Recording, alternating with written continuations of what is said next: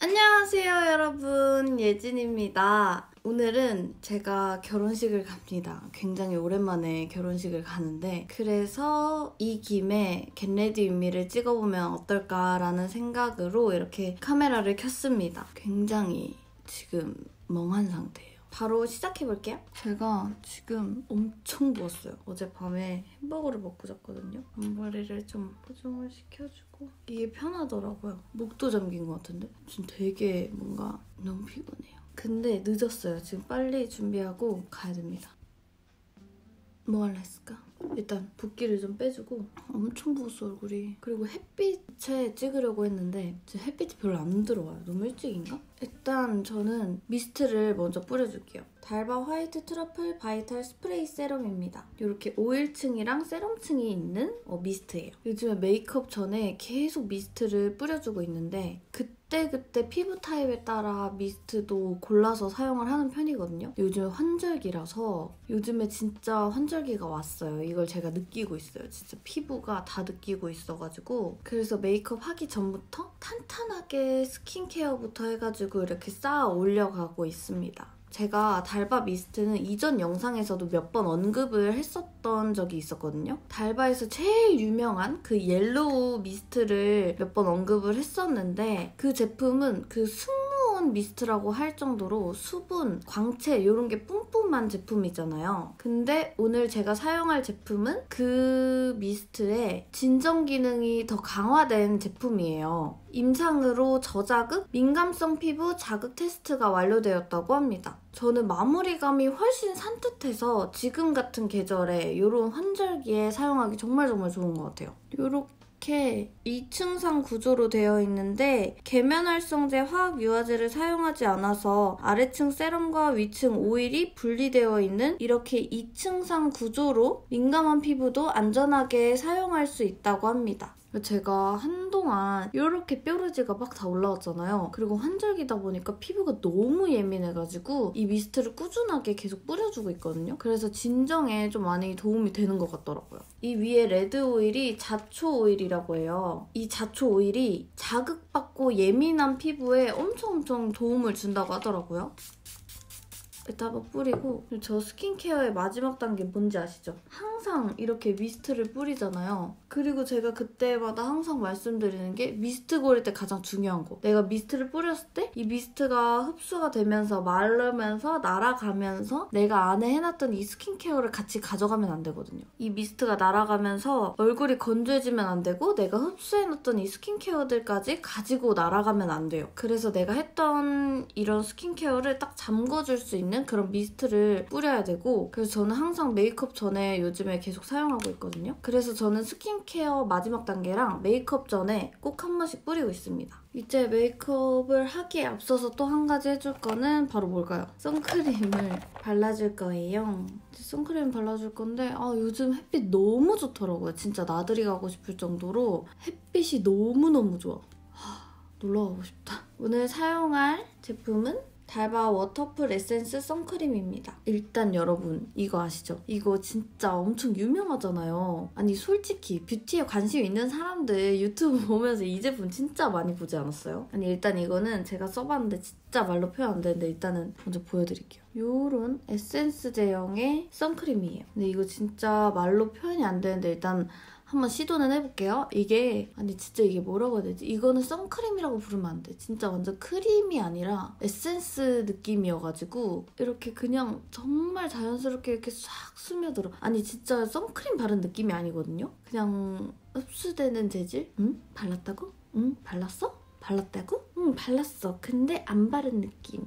원래 선크림은 살짝 겉도는 느낌도 있고 살짝 답답한 느낌도 있고 아무튼 내가 얼굴에 뭐 바르긴 발랐구나. 이런 거를 느껴지잖아요 선크림 바르면. 근데 그런 느낌이 드는 게 저는 당연하다고 생각했거든요. 선크림도 메이크업의 한 부분이기도 하니까 스킨케어는 아니잖아요. 그리고 모든 제품이 다 그래. 뭔가 바른 느낌이 나. 근데 이거는 아 발랐는데 안 발랐어요. 안 바른 거야. 이건, 이건 안 바른 거지. 이게 수분 에센스 제형이라서 진짜 촉촉하게 발리고 흡수가 이렇게 촥 돼요 이게 보실래요? 백탁도 없고 완전 깔끔하게 흡수된 거. 이거 진짜 사계절 내내 여름에도 아 여름에 진짜 좋을 것 같아. 이 사계절 내내 바르기 너무 좋아요. 그 원래 선크림이 한 500원어치 바르라고 하잖아요. 근데 일반 선크림 500원어치 못 바르는 거 아시죠? 다들 이렇게 하얘지고 백탁 없는 것도 완전 이 위에 막 두껍게 올라가가지고 그 다음 메이크업 안 먹고 난리 나잖아요. 근데 이거는 내가 바르면 바르는 만큼 쩍쩍쩍쩍 흡수가 되니까 500원어치 금방 발라요, 여러분. 얼마 전에 친구들이 놀러 왔는데 이거 써보고 다 놀랬다니까요. 처음에 이, 이 제품을 보고 어? 이거 어디서 많이 봤는데? 라고 했는데 얘를 썼는데 진짜 너무 좋은 거야. 그래서 다들 하나같이 야 이거 너무 좋다. 그 저 짜고 야 돌려 돌려 돌려 돌려 돌려 이렇게 해가지고 이렇게 돌아왔어요. 아 그 영상을 그때 찍었어야 되지. 진짜 그날 너무 재밌고 이게 추천템들이 되게 많았어요. 친구들한테도. 그래서 그런 찐, 찐 영업 약간 방판 언니 스타일이었거든요. 저 그날 약간 방판 언니였기 때문에 그런 느낌 약간 담았어야 되는데 친구들이 아직 카메라로 낯을 가려가지고 제가 찍지를 못했네요. 제가 이 선크림에 대해서 좀 더 소개를 해보자면 최근에 SPF 수치를 검증 완료한 제품이라고 합니다. 임상 자료나 이런 거는 달바 홈페이지에 있으니까 홈페이지로 가시면 자세한 내용들 더 확인하실 수 있고요. 피부 저자극 테스트도 완료되어가지고 화해 아시죠? 화해 보시면 막 성분들에 대해서 막 나오잖아요. 그 화해에서 선정한 유해 성분을 배제한 민감 피부도 사용 가능한 선크림이라고 합니다. 그래서 이 제품이 너무 착 흡수된다고 했잖아요. 그래서 선크림 많이 바르면 그 다음 베이스 막 밀리거든요. 근데 전혀 그런 게 없어. 진짜 이거는 스킨케어의 한 부분 같은 느낌이에요. 자외선이랑 blue light 둘 다 차단 가능하고요. 에탄올이 없는 성분이라서 선크림 잘못 바르면 눈시림 있잖아요. 근데 이거는 눈시림 이런 것도 1도 없어요. 아무튼 요즘에 햇살이 엄청 좋잖아요. 근데 제가 이 자리에 앉아서 일을 하거든요. 근데 햇빛이 이쪽으로 막 들어와요. 내 피부 쌩얼인데. 이 피부 다 상한다고 다 탄다고 아침에 일어나면은 그냥 안 씻고 이거 발라요 근데 그 정도로 답답함이 1도 없어가지고 그 생얼에 그냥 집에 있을 때도 얘를 바르고 있을 수가 있어요. 아니면 낮에 그냥 세수하고 나와가지고 크림 대신에 얘 그냥 바르고 진짜 이거는 그냥 스킨케어 재질이에요. 완전 얘는 그냥 스킨케어야. 그래서 진정 꿀조합으로 진짜 요렇게 두 개 너무너무 추천드려요. 자 그러면 이제 베이스 메이크업을 시작하기 전에 렌즈를 먼저 껴줄게요. 렌즈를 끼고 시작할 거예요. 요거 껴줄게요. 오렌즈 스칸디 헤이즐 컬러입니다. 이거 진짜 daily로 엄청 좋아요. 아예 테두리도 없다 보니까 이 눈동자 컬러만 딱 바꿔주거든요. 그래서 제가 진짜 좋아하는 렌즈예요. 이렇게. 컬러만 딱 바꿔주는데 이게 진짜 예뻐요. 약간 이런 홍채 렌즈 중에 진짜 제일 예쁘다니까? 오랜만에 낮에 촬영하니까 밖에 차 소리가 너무 많이 들리는 것 같아요. 자, 오늘같이 정말 정말 중요한 날은 메이크업을 어떻게 하면 좋을까? 오늘 같은 날은 저는 파운데이션을 좀 쓰는 편이거든요. 에스쁘아 프로테일러 파운데이션 비실크 포슬린 컬러고요. 에스티로더 더블웨어 쿨본 컬러입니다. 이렇게 두 가지를 mix를 할 건데 2대 1로 mix해서 얼굴에 발라줄게요. 파운데이션은 잘 흔들어서 지금 늦었어요 또. 이렇게 환절기에는 너무 또 matte한 건 바르기도 그렇고 너무 촉촉한 건 바르면 또 막 뭉치고 이러니까 이렇게 지속력이 좋은 거랑 이렇게 지속력이 좋은 거랑 촉촉한 거랑 잘 섞어 섞어가지고 파데 브러쉬로 진짜 얇게 발라주면 너무 좋아요. 지속력이 되게 좋아지거든요. 밀착도 좋고 그래서 이렇게 브러쉬에 잘 먹여서 얼굴 중앙 위주로 또 오랜만에 또 파데를 쓰면 또 내가 좋지 기분이가 파데를 쓸 일이 많이 없다 보니까 원래 스펀지로 두드려야 밀착력이 더 좋은데 저는 오늘 시간이 없어서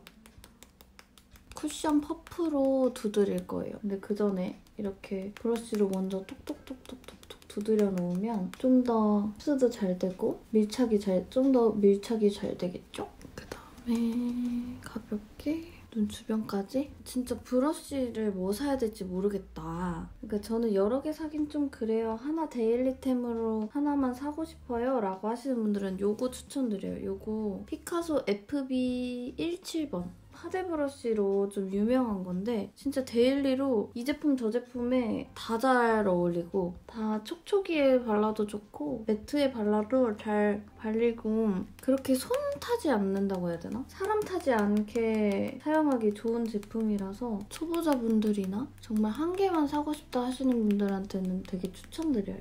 이렇게 세워서 이런 부분도 이런 데는 이렇게 브러쉬 끝부분으로 이렇게 스치듯이 뜨기 좋은 것들이나 모서리나 이런 데는 세워서 발라주고 그 다음에 남은 여분으로 눈두덩이 가볍게 지나가요. 그다음에 쿠션으로 한번 퍼프로 한번 두드려주고 음, 결혼식이나 이런 데 가면 지속력도 좋고 어느 정도 커버도 잘 되고 이게 메이크업이 평소 데일리보다는 신경이 쓰이잖아요. 그래서 이렇게 그런 날은 진짜 파데 쓰면 너무 좋아요. 그래서 이렇게 보시고 좀 더 필요한 부분이 있으면 얼굴 중앙이나 필요한 부분에 한 번 더 스쳐 지나가지고 아 근데 솔직히 마스크 쓰고 이러니까 저는 잡티 커버를 완벽하게 저는 잡티 커버를 하지 않을 건데 좀 잡티가 있으신 분들은 가볍게 컨실러로 살짝 가려주는 게 좋을 것 같아요. 마스크 벗을 일이 크게 없으니까 뭐 밥 먹을 때 벗긴 하겠지만 진짜 베이스 잘 먹죠?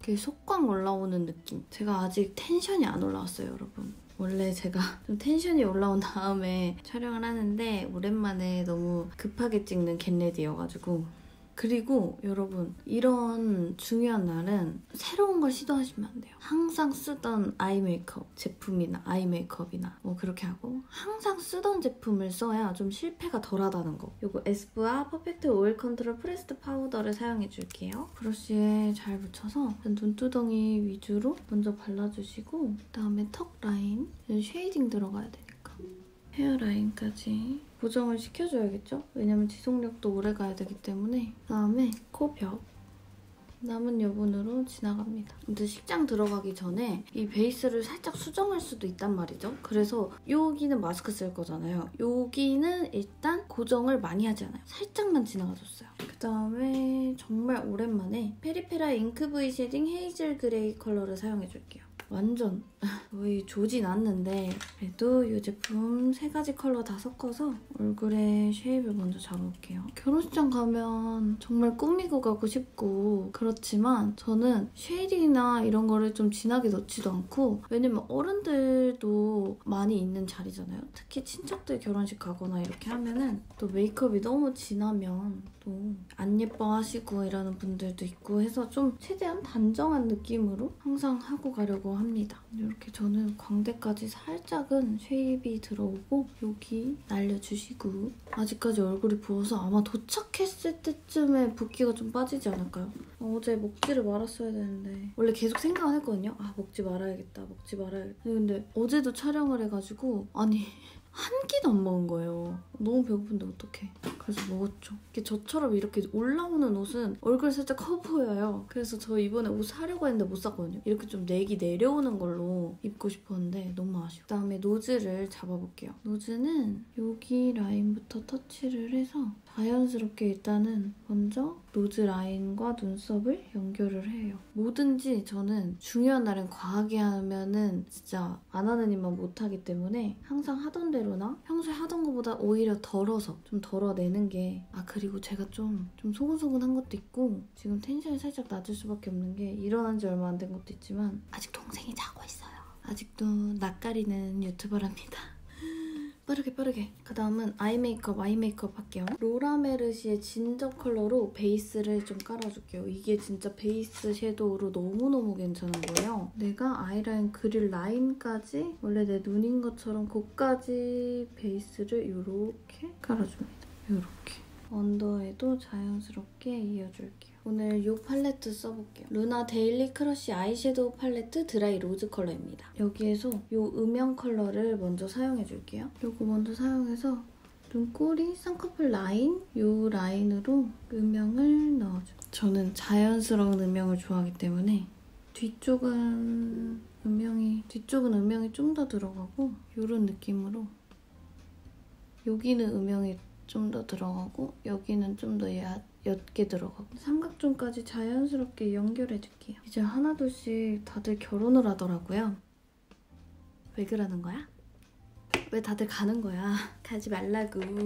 그다음에 애교살 그림자를 넣어줄게요. 쉐이딩을 이용해서 가볍게 일단 살짝만 넣어줄게요. 왜 다들 결혼하는 거야? 다들 주변에서 결혼하고 하니까 이제 내 나이도 그럴 나이가 됐구나. 내 주변이 다 그럴 나이가 됐구나. 그런 생각이 들더라고요. 생각보다 나도 나이가 먹었구나. 이번에는 요거랑 요 음영 컬러를 엄청 살짝만 믹스를 해가지고 한 번 더 끝부분의 음영을 이렇게 한 번 더 줄게요. 여기만 많이 들어가지 않고 이 정도로 이렇게 블렌딩 언더 이제 아이라인을 그리고 펄을 얹어볼 건데 그 전에 애교살 먼저 해볼게요. 나 애교살은 이 팔레트를 포기할 수가 없어. 그래서 애교살을 이 컬러를 먼저 베이스로 깔고 그 다음에 이 컬러를 얹어줄 거예요. 제가 어떤 영상이 올라갈지 모르겠지만 이 부분에 대해서 언급을 했는데요. 이렇게 매트한 섀도우를 애교살의 베이스로 깔고 그 위에 shimmer한 펄을 얹었을 때 오히려 이렇게 더 볼륨감도 있어 보이고 그리고 지속력도 오래 가더라고요. 이렇게 한 다음에 그 옆에 shimmer한 펄을 눈 여기 중앙부터 앞쪽까지 블렌딩을 하는 거예요. 눈 앞머리도 살짝 지나가지고 이렇게 없던 없던 애교살 일단 만들었고요. 이제 애교살 만드는 건 껌이죠. 그다음에 이거 페리페라 글리터가 진짜 예쁘거든요. 얘는 1호예요, 1호. 얘를 속눈썹 아래쪽에 콩콩콩콩 이렇게 얹어줍니다. 이렇게 전 눈동자 바로 아래에 얹거든요. 근데 이렇게 애교살을 세운 다음에 말려요. 이런. 아이라인은 이거 머지 The First Easy Drawing Gel Eyeliner Maroon 컬러로 일단 가볍게 라인을 그릴 건데 일단 점막을 먼저 채우고요.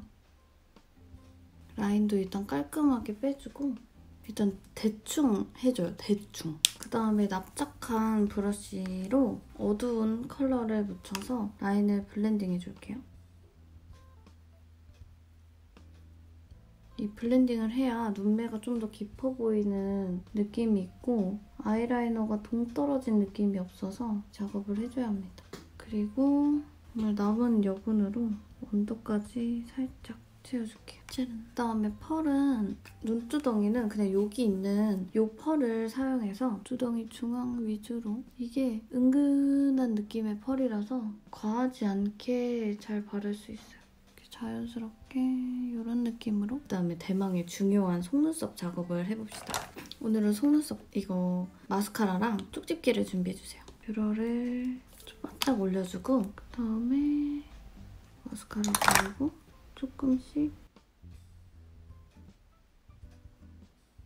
이렇게 찝찝찝찝 해주는 거예요. 반대쪽도 이제 언더 발라주면 짠! 마무리. 눈썹 그리고 눈썹은 이거 스킨푸드 파우더로 그려줄게요. 저는 파우더로 그렸을 때가 제일 잘 그려지고 자연스럽게 그려지는 것 같아가지고 항상 파우더를 사용합니다. 그쵸? 파우더로 완전 잘 그리죠? 가볍게 해주고 이거는 아페릴의 Remarkable Slim Brow Pencil Natural Brown 컬러인데요. 이걸로 한번 앞에 빗고 좀 더 깔끔하게 잡아야 되는 shape은 pencil 이렇게 얇은 걸로 이렇게 한 올 한 올 잡아줍니다. 다음은 brow 마스카라 쓸 건데 이건 Kill Brow Color Brow Lacquer Peanut Brown이에요. 이렇게 눈썹 앞머리 결을 살려가면서 컬러 입히기에 되게 좋은 제품이더라고. 예전에는 color brow가 이 정도까지는 아니었는데 처음 나왔을 때는 되게 두껍게 발리고 오히려 저처럼 숯검둥이 눈썹은 안 하는 게 더 나은 눈썹이 더 두꺼워지거든요. 답답해 보이고. 블러셔는 고민을 많이 했는데 daily로 바르기 좋은 Dandelion을 발라줄게요. 마지막은 이제 lip만 남았는데 lip은 제가 요즘에 베이스로 엄청 잘 깔고 있는 Ink Airy Stick 15번이에요. 얘랑 진짜 이것만 발라도 예뻐. 그다음에 브러쉬로 외곽을 좀 blending 해주고요. 이렇게 해주고 안쪽에 제가 또 최애하는 이 lip 아시죠? 에스쁘아 lip인데 이거 제가 진짜 주변에 영업을 진짜 많이 했어요. 안쪽에